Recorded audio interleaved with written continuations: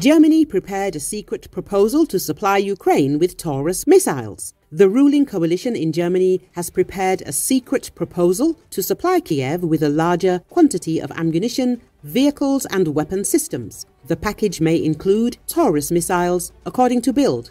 According to the DPA agency, a vote on this aid package is set to take place in the Bundestag later this week. While the winged Taurus missiles, which Kiev has long requested, are not explicitly mentioned in this project, it does discuss the provision of additional long-range weapon systems and ammunition necessary for Ukraine to carry out targeted attacks on strategically important targets deep within the Russian aggressor's territory. Taurus missiles fit this description precisely as they can reach targets over 500 kilometers away. France and the United Kingdom have already supplied Ukraine with their Scalp and Storm Shadow missiles, but they are considered less effective than Taurus.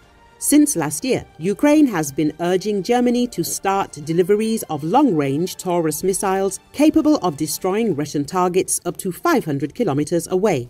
However, Berlin has so far refused such deliveries. According to media reports, Chancellor Olaf Scholz opposed the decision. Last week, he dodged a question about possible Taurus missile deliveries, but underlined that Germany would continue to support Ukraine.